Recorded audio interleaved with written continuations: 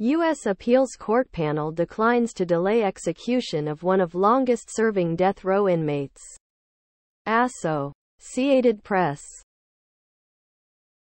AUS.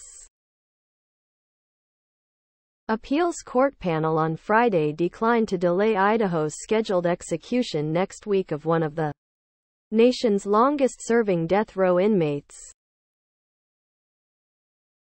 Thomas Creech was sentenced to death in 1983 for bleep a fellow prison inmate, David Jensen, with a battery-filled sock.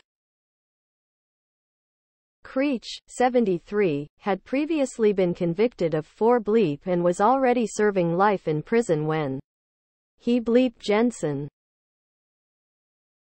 Below are your comments. Sentenced to death in 1975.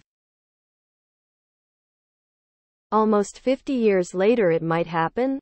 What has that cost the taxpayers? Do not tell me it cost millions of dollars to fulfill a death sentence. 1983? 41 years? I'm wondering who is alive now that were involved in the case or the investigation. I'm sure he has outlived some of them.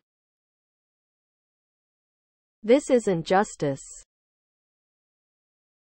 Creech, 73, had previously been convicted of four bleep and was already serving life in prison when he bleeped Jensen. He is also suspected of several other bleep dating back half a century. I am not going to cry myself to sleep over this guy's fate. Please subscribe to my channel. And if you like it, please thumbs up.